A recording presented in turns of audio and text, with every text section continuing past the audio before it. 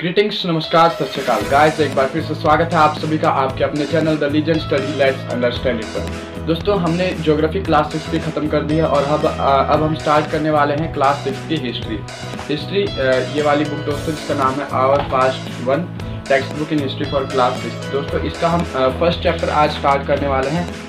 First chapter, जिसका नाम है what where how and when दोस्तों कुछ ज़्यादा बड़ा चैप्टर नहीं है, कुछ खास हमें इसमें पढ़ना नहीं। इसमें बस ये बताया कि कहाँ कहाँ से जो है हमें हमारी हिस्ट्री के बारे में पता चलता है। मेन जो है हिस्ट्री जो हमें पढ़नी है, वो किस टाइप की हिस्ट्री हमें पढ़नी है। तो दोस्तों, बिना किसी देरी के जल्दी से चैप्टर को स्टार्ट करते हैं। उससे पहले अगर आप चैनल पर नए हैं तो चैनल को सब्सक्राइब करना मत भूलना और जाने से पहले अगर वीडियो अच्छी लगे तो वीडियो को लाइक करना मत भूलना।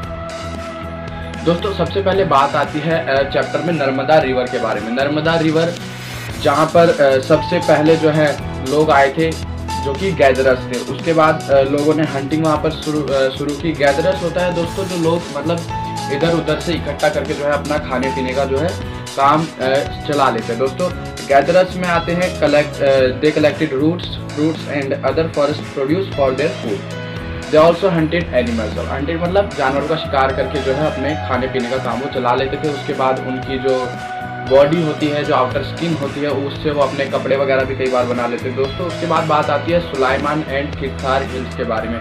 ये हिल्स मैं आपको बता दूँ, दोस्तों प्रेजेंट डे पाकिस्तान से ये पाकिस्तान में हिल्स है, इंडिया के नॉर्थ वेस्ट में।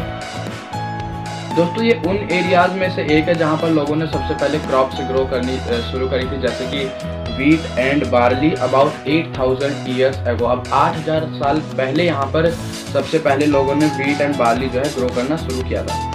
दोस्तों ने उसके बाद दोस्तों उसके बाद लोगों ने यहाँ पर धीरे धीरे एनिमल्स की रियरिंग भी शुरू की। एनिमल्स की रियरिंग का मतलब होता है एक तरह से उनका पालना और फिर उनसे जो भी प्रोड्यूस हो उसका यूज़ करना। यहाँ पर लोग विलेजेस में रहते थे।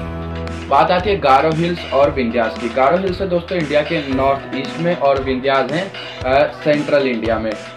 ये दोनों वो एरियाज़ है जहाँ पर सबसे पहले जो है एग्रीकल्चर हमारा डेवलप हुआ था। These are the places where rice was first grown यहाँ पर सबसे पहले जो है राइस की जो खेती है, वो शुरू हुई थी। उसके बाद बात आती है कि जो प्लेसेस के नाम है, वो कैसे पड़े? प्लेसेस के नाम में यहाँ पर बताया गया हमारे इंडिया के बारे में कि इंडिया नाम कैसे जो है इस देश का पड़ा था। दोस्तों इंडिया जो नाम आया है, वो आया है इंडस नदी से इंडस रिवर के नाम से जिससे सिंधु जो है, संस्कृत में हम बोलते हैं। ईरानियंस और ग्रीक जो हैं 25 साल पहले जब वो यहाँ आए थे तो उन्होंने इस जगह का नाम दिया था इंडोज या हिंदूज यानी कि जो ईस्ट टू द इंडस, यानी कि इंडस नदी के जो ईस्ट वाला एरिया है, उसको वो इंडिया बोलते थे। बात आती है दोस्तों, भारत नाम कैसे पड़ा? भारत नाम जो है दोस्तों, एक ग्रुप ऑफ़ पीपल को दिया गया था जो कि नॉर्थ वेस्ट में रहते थे, यानी नॉर्थ वेस्ट में रहने वाले लोगों को जो है भारत नाम दिया गया था। भारत नाम जो है, दोस्तों, इस नाम का प्रयोग जो है, ऋग्वेद में भी किया गया है। ऋग्वेद जो कि सबसे पुराना जो रिटर्न है, ऋग्वेद हमारा सबसे पुराना रिटर्न है अर्लीस्ट कंपोजिशन इन संस्कृत जो है हमारी ऋग्वेद की है। उसके बाद बात आती है, दोस्तों मनुस्क्रिप्ट की इंस्क्रिप्शन की। मनुस्क्रिप्ट क्या होते हैं, दोस्तों? बार्क ऑफ़ ट्री, यानी कि जो पेड़ की छाल होती है। किस पेड़ की छाल, दोस्तों? बिर्च बिर्च एक ट्री होता है, जो कि नॉर्दर्न हिमालयाज में जो ग्रो करता है।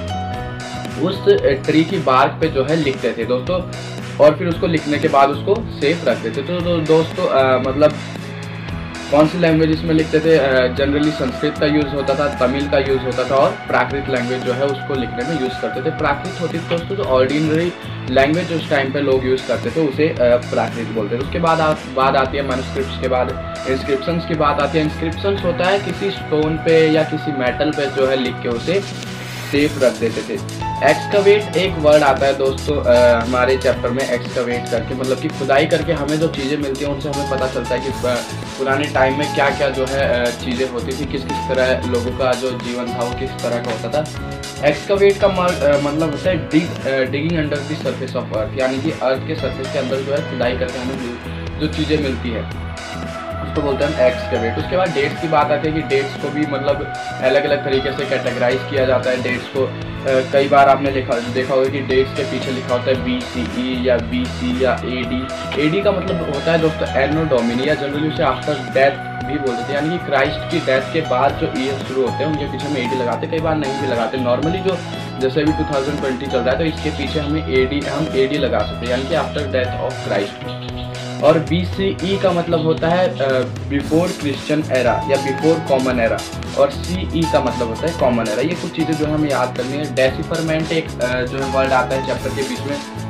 डेसिफरमेंट का मतलब होता है दोस्तों जो कुछ भी लिखा हुआ है उसको डिकोड करना उसको समझना। अब जो लोगों ने लिखा हुआ था इंस्क्रिप्शन पे मैनुस्क्रिप्ट से वो नॉर्मल हमारे लिए समझना बहुत ज़्यादा मुश्किल है। उसको डिकोड करना भी बहुत ज़्यादा मुश्किल है क्योंकि उस टाइम जो लैंग्वेज यूज़ करते थे उस टाइम जो स्क्रिप्ट जो लोग यूज़ करते थे लिखने के लिए वो आज हम यूज़ नहीं करते। उसके बाद uh, कुछ इम्पोर्ट ये मगध के बारे में बात हुई है। The first big kingdom was the Magadh और ये जो थी वो गंगा वैली के पास जो थी लोकेटेड थी।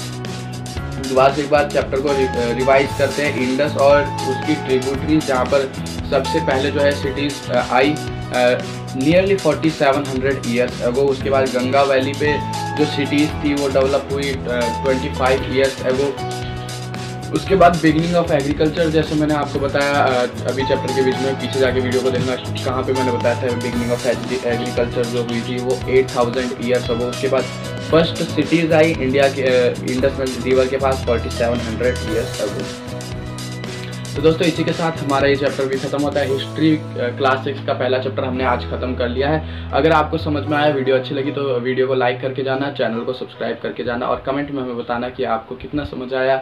और ये भी बताना कि आगे आगे आपको कौन सी क्लास का जो है वीडियो चाहिए। Thank you have a nice day